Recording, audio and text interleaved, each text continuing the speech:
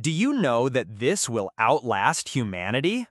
In 1977, NASA launched Voyager 1. On board, they placed something extraordinary, a golden record filled with Earth's sounds and memories. It wasn't just music. It carried greetings in 55 languages, whale songs, even a baby's cry, a time capsule of humanity. Voyager has already left our solar system. While wars rise and fade, while humanity itself may vanish, that small record keeps drifting forward.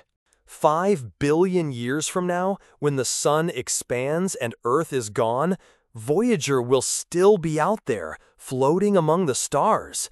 And one question remains, if...